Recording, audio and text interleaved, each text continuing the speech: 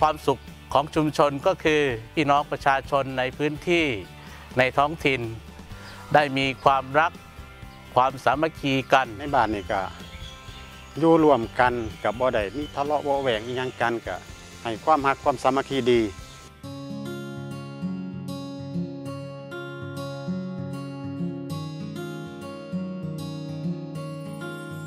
สำหรับโครงการเฮดิมิสุขของโรงเรียนบ้านประสาทนะครับ ก็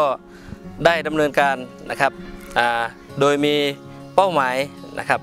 นั่นคือนักเรียนมีความสุข โดยมีกิจกรรมต่างๆเข้ามานะครับเด็กหน่อยที่โรงเรียนโรงเรียนยู่บ้านประสาทได้มาอบรมเกี่ยวกับอ่ามักคุเทศน้อย ให้เด็กหน่อยมีความรู้แล้วก็เกิดว่าไอ้นักท่องเที่ยวมาจังซี่ก็มาถามไอ้ประวัติของประสาทเนี่ก็เด็กหน่อยให้คำตอบได้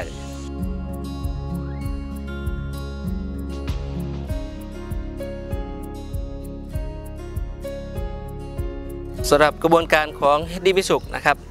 ทางโรงเรียนก็หลังจากที่ได้ศึกษาข้อมูลนะครับอพอสมควรก็จะมีการนำคุณครูนะครับทุกท่านนะครับเข้าร่วมโครงการไปศึกษาดูงาน ในการดำเนินงานนั้นก็จะร่วมกับหน่วยงานในชุมชนนะครับผู้ปกครองมาร่วมกันนะครับคุยกันแล้วก็ประสานกันว่า ถ้าดำเนินการโรงเรียนเฮดดี้มิสุขแล้วจะต้องประสานงานกันอย่างไรบ้าง ถ้าจะทำนี้ เราจะต้องไปหาเขาอย่างไรนะครับ ประสานร่วมกันกับองค์กรในชุมชน ให้เป็นชุมชนที่เรียนรู้ซึ่งกันและกันนะครับ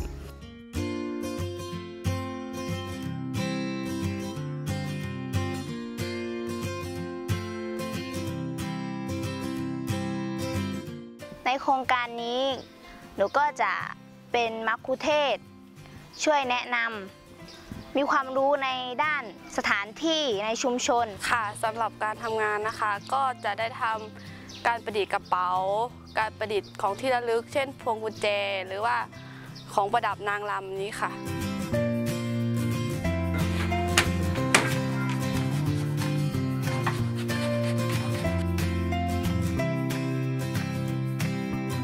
ความรู้ที่เด็กหน่อยที่ได้รับมา เพื่อเป็นจักสารเพราะว่าบ้านของเฮามันมีปราสาทโบราณขอมของมู่เฮาสามารถที่จะให้เด็กน้อยรุ่นต่อรุ่นเพื่อเป็นการศึกษาแล้วก็เป็นการพัฒนาของหมู่บ้านหมู่เฮาให้การรักบ้านเกิดของเฮาค่ะ สิ่งที่อยากทำก็คืออยากจะสานต่อเกี่ยวกับโครงการนี้ทำไมถึงอยากทำเพราะว่าในพื้นที่ในท้องถิ่นของเรานี่มีโบราณสถาน เป็นแหล่งท่องเที่ยว เวลามีนักท่องเที่ยวมาชมก็จะ เสริมสร้างรายได้ให้เขา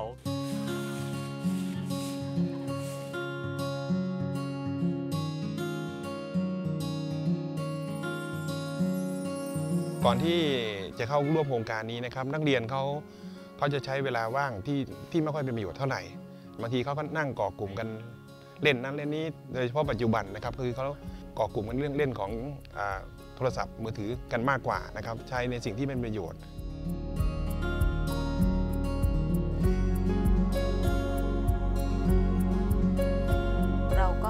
มีความประสงค์เข้าร่วมโครงการนะคะ แล้วเราก็ได้เข้าไปอบรมนะคะ จากโครงการนะคะเฮดดีมีสุขค่ะ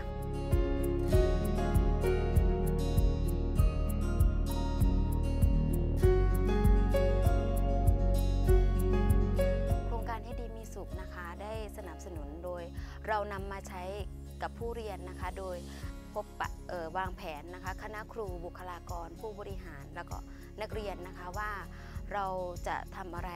ที่จะเข้าร่วมในโครงการเฮดดีมีสุข โดยเข้าไปสำรวจในเขตพื้นที่มีปราชชาวบ้านนะคะ ซึ่งสามารถที่จะถ่ายทอดความรู้นะคะ ด้านการทำหมวก การใช้วัตถุดิบหมวกในการสร้างสรรค์ผลงานนะคะ แล้วก็เล็งเห็นด้วยกันก็เลยจัดเป็นโครงการส่งเสริมอาชีพ จากสารสู่ไทยแลนด์ 4.0 ค่ะมันทางมันปะอยากมันทางสนิมมันจะแข็งแรง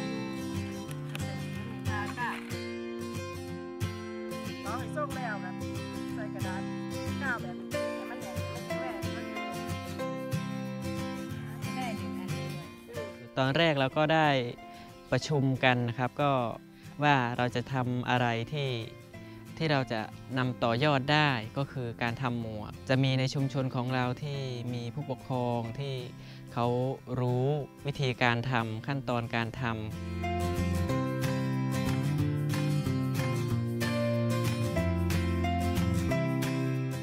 เวยนรู้การทำงานเป็นทีมนะคะ ดิฉันก็ได้มิตรภาพเพิ่มมากขึ้น ในการทำหมวกนี้นะคะ โครงการนี้ก็สามารถทำให้ฉันมีความสุข และก็ประสบความสำเร็จในชีวิตได้ค่ะ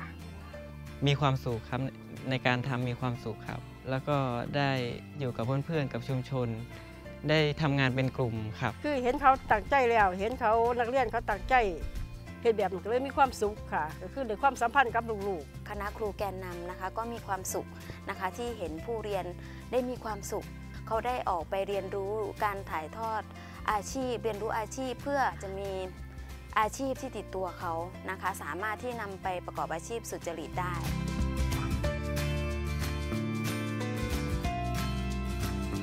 หลังจากมีโครงการขึ้นขึ้นนี้ขึ้นมาทำให้นักเรียนเขาใช้เวลาว่างนะครับให้เป็นประโยชน์มากขึ้น เขาได้ฝึกเรื่องของสมาธิ ฝึกในเรื่องของการวางแผน แล้วก็ได้เรียนรู้ตามความถนัดของตัวเองนะครับ